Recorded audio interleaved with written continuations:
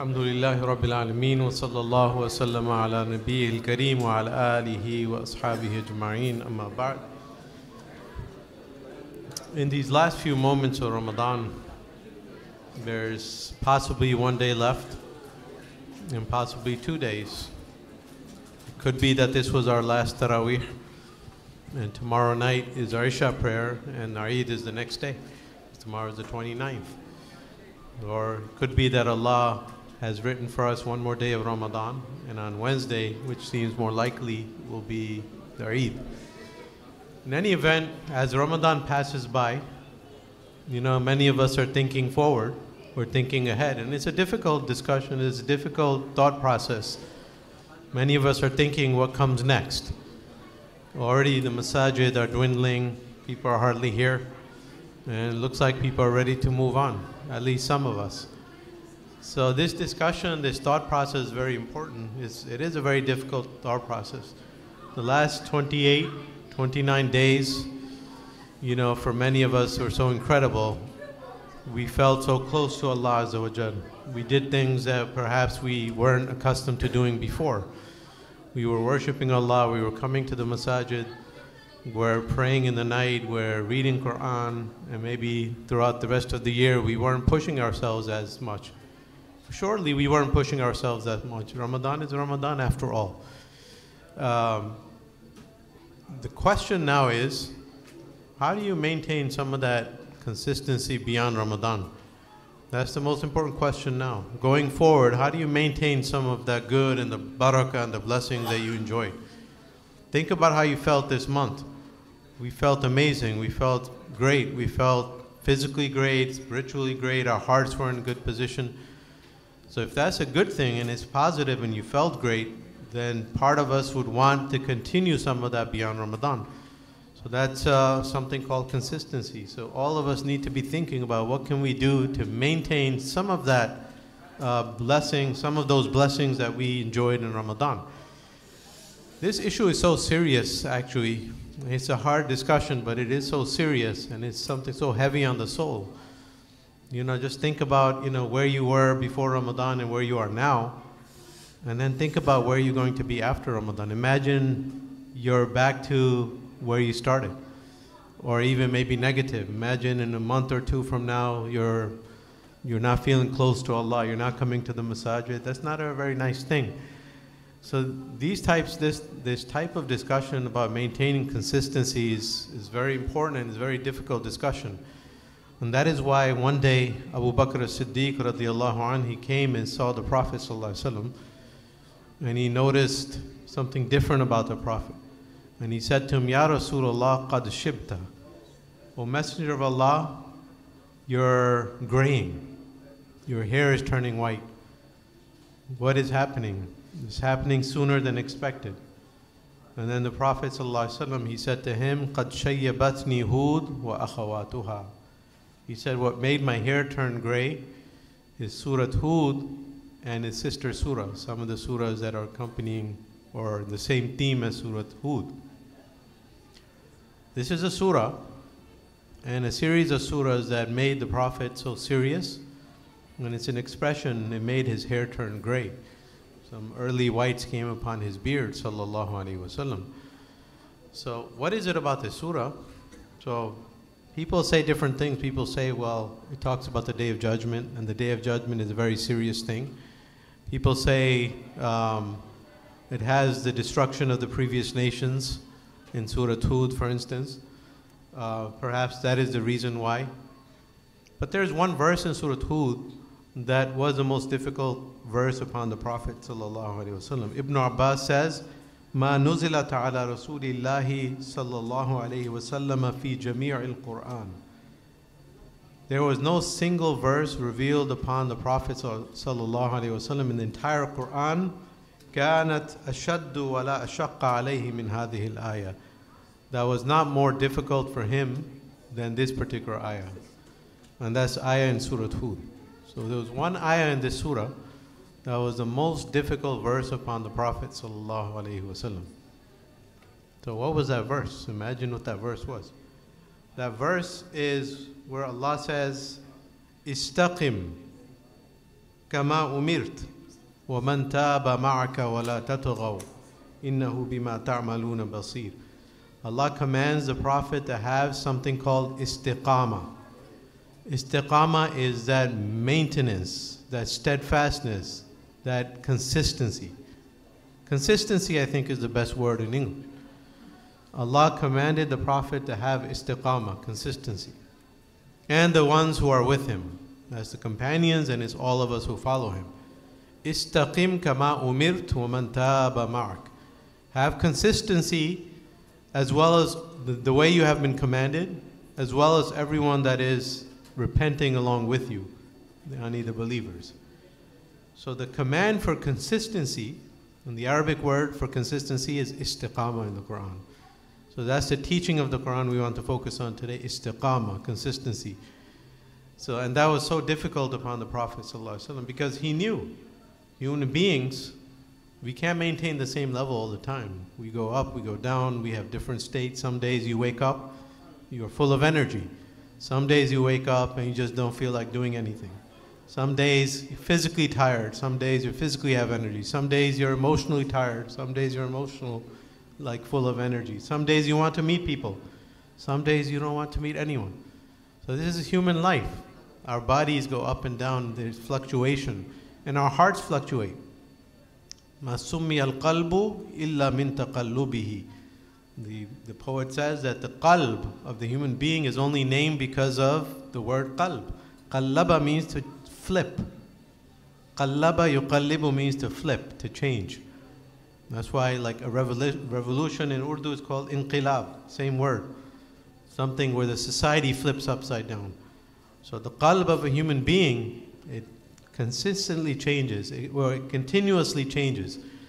So the believer to maintain consistency is a very difficult thing, but it's a very important thing. It is the mission of the believer.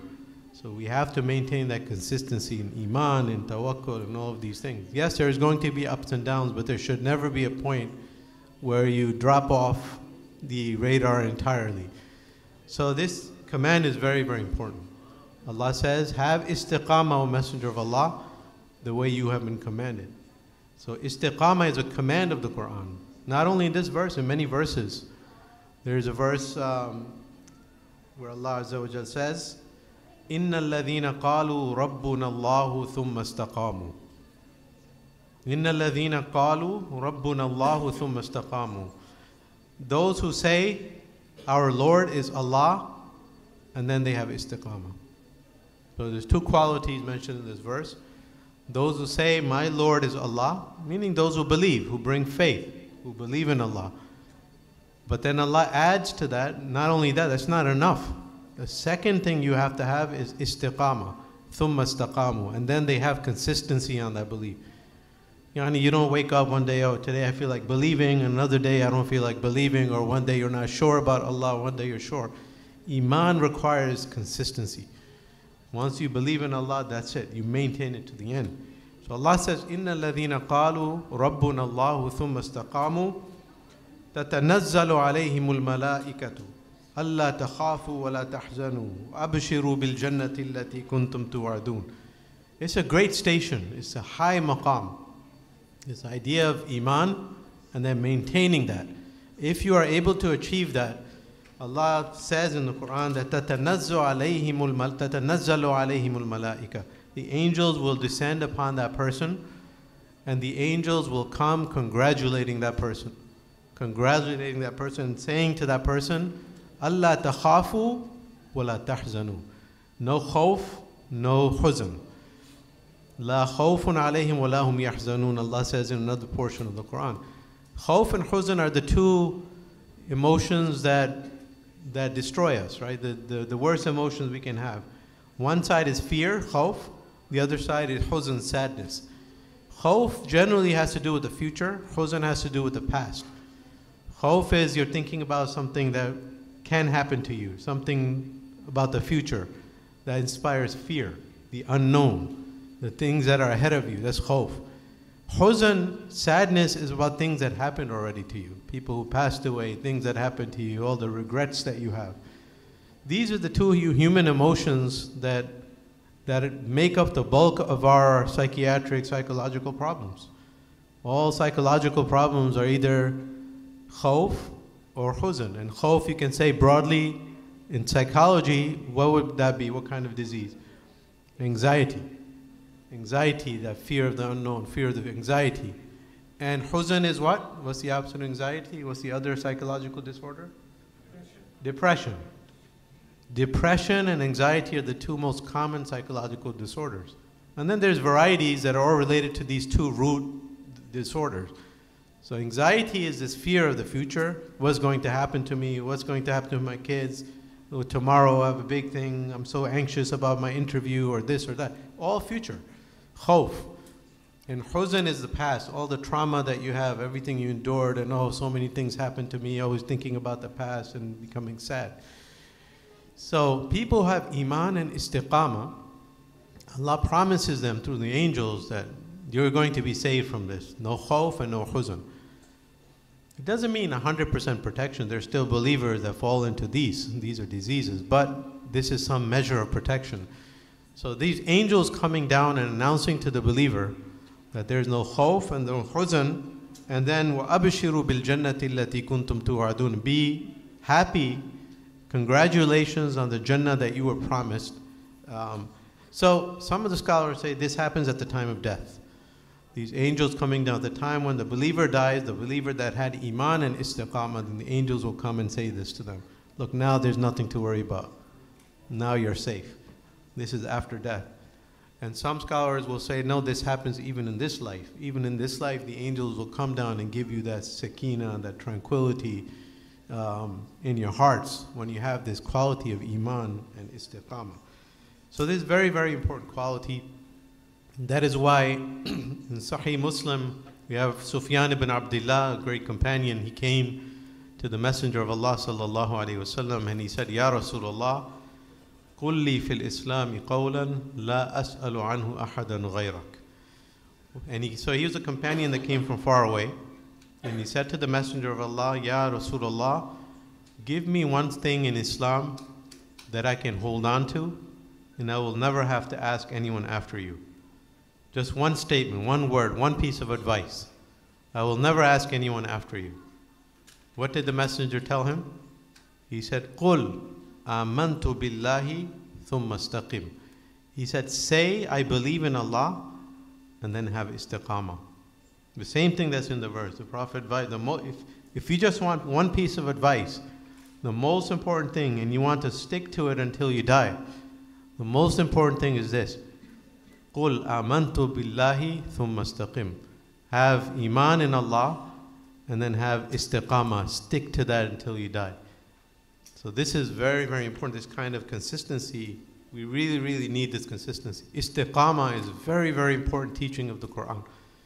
So istiqamah is consistency, is steadfastness, is persevering, is continuing to do the things that you do. And that's an important teaching at this juncture as Ramadan is passing away in the last few hours of Ramadan. This is what we should be thinking about.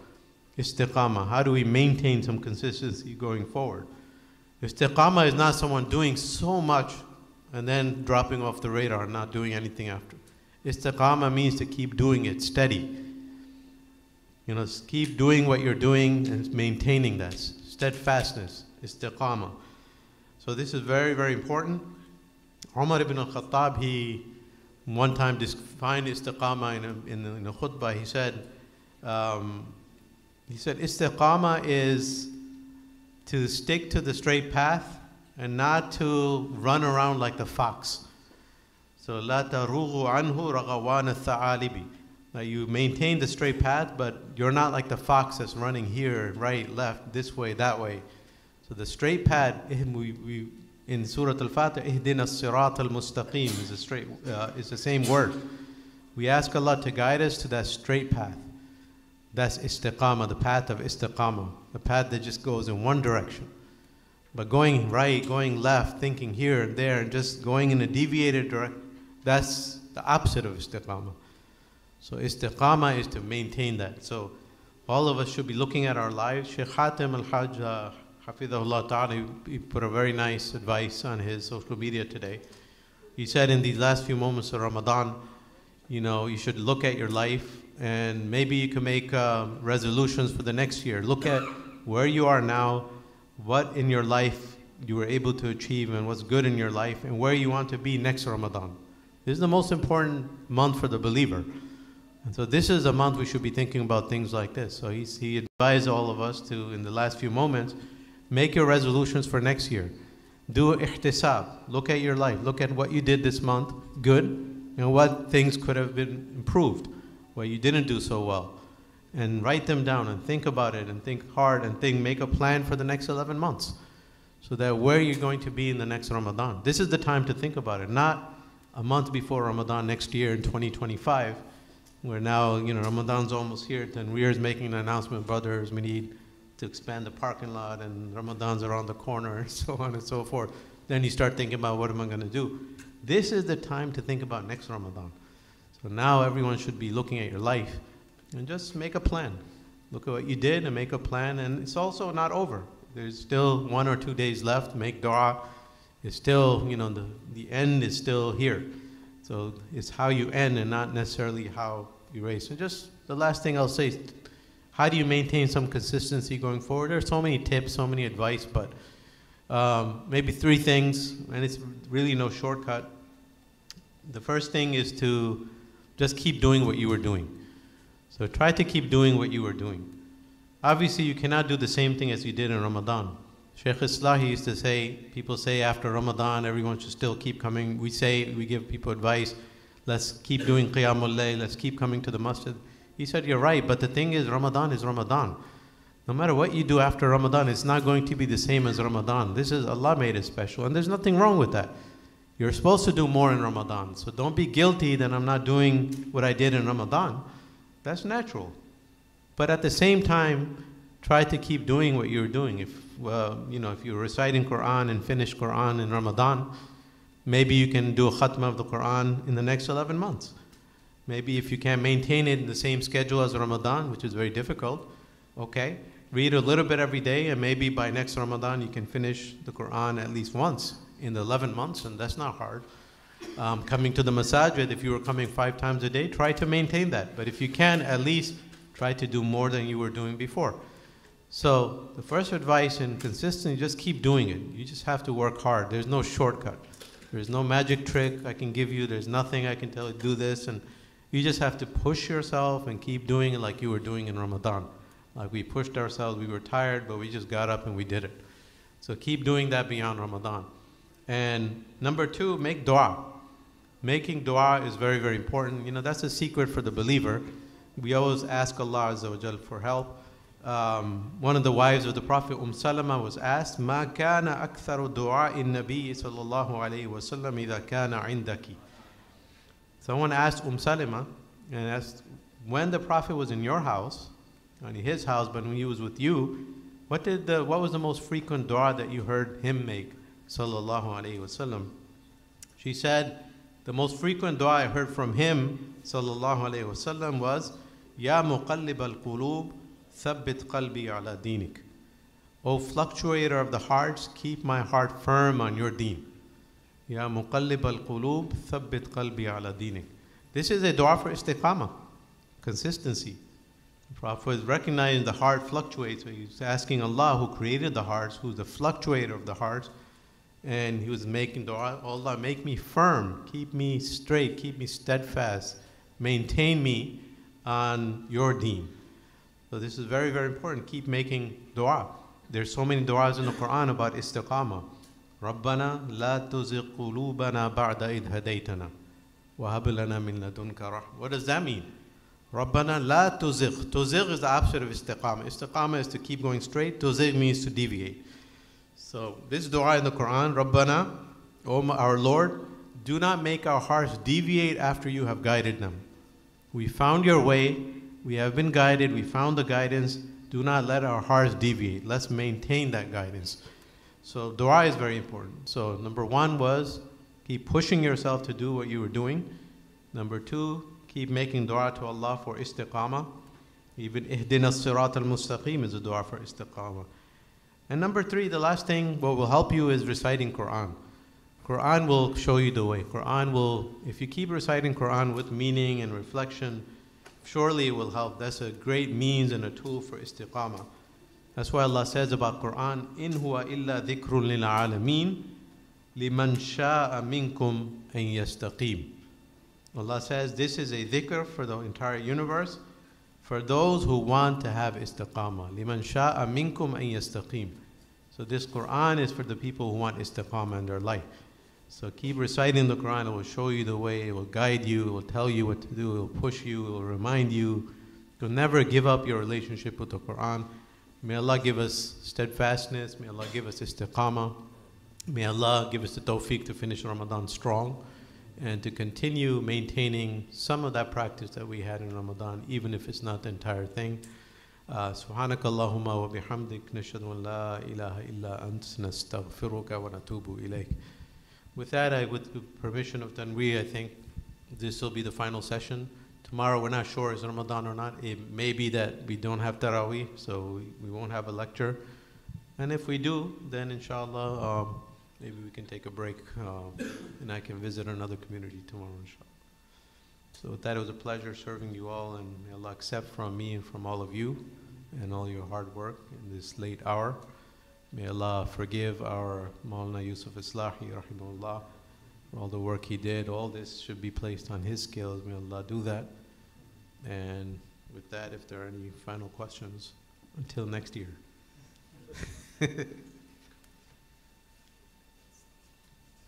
So basically, a sign of accepted Ramadan is see yourself doing a little bit more than you perhaps were doing before. Yeah, that's a, scholars say that's a great sign of acceptance that when, when, you, when you're in a better position than before, you find yourself in a better position, you find yourself continuing to do certain things that you weren't doing before. So that's excellent. Ramadan is a training program, and if you find yourself much better than before, that's the purpose of Ramadan. That means Allah favored you with acceptance and inshallah.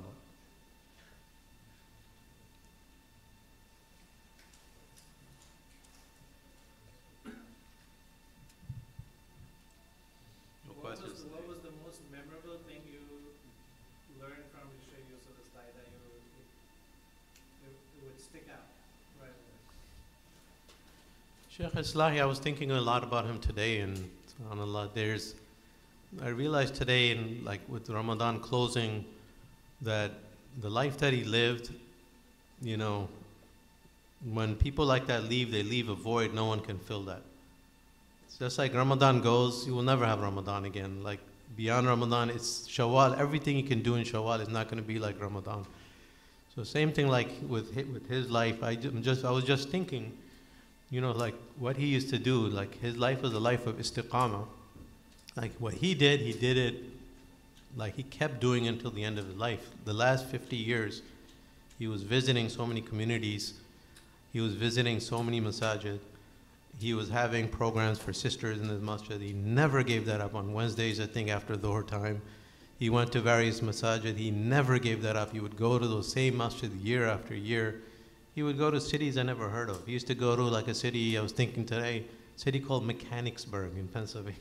Have you heard of Mechanicsburg? That's a small town in the middle of nowhere in Pennsylvania, almost four hours, three, four hours from here. And he used to, because I used to ask him, where are you going? And he said, I'm going to Mechanicsburg. I was like, I never even heard of that. Every year he would go there. It's a small little masjid, nobody, almost hardly anybody there. But he maintained all of them. I was thinking, now that he's gone, these poor sisters don't have anybody. These masajid lost the link. And um, how many masajid in New Jersey uh, and New York he would visit every single year. They would look forward to seeing him. That's a void that can never be filled. No one can fill that void. And that's kind of how Ramadan is. Ramadan is, you know, it's meant to be special. And when it leaves, you're supposed to miss it. Nothing can replace Ramadan. So that's this is something I was thinking about today. And I just I saw some of the sisters and I felt really bad. Like, you know, they had they had a scholar that sat with them um, continuously, and he was someone who cared about the youth and the sisters. He made special time for them. And often in our communities, we don't we don't have that. They're behind walls and they're not part of the community in meaningful ways. Not talking about here. I'm just talking in general. And most masajid are like that. Um, SubhanAllah, he was an incredible person, left an incredible legacy, so many lessons from his life, how he lived. He lived a life of istiqam, surely. May Allah forgive him and raise his ranks.